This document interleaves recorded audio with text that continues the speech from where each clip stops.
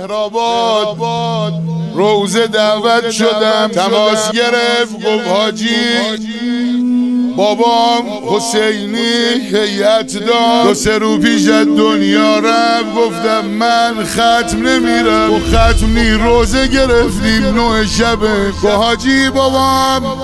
وسیعت کرده مدیونید برام ختم بگیری برا روزه دار امام حسین باید جا ختم روزه بگیری دلش بود تو براش بخونی. ما موندیم تو دربست رفیقم بود رفتم به آدرس. رسیدم. یه ساختمون حسینی بزرگ. یه پذیرایی اومدن کنن پسر بزرگ اومد. حاجی سلام وسیعت بابامو بخونم. بسم الله الرحمن الرحیم. حسین محمد رضا. هرچی دارم یه چاقو می‌ذارید. وسطش نصفش مال امام حسن. گفت بابام گفت اگر عمرم بود به دنیا راهش باشد حرم ساختن خودم می‌برم. اگر رفتم زیر خاک نصف مالم مال حرم امام حسن.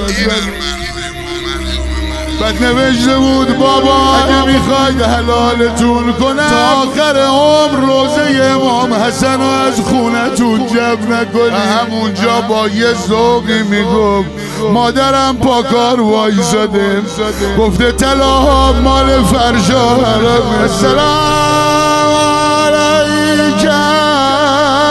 یا حسن ابن علی. یا ابن رسول الله. حرم نداری نوکر زیاد داری.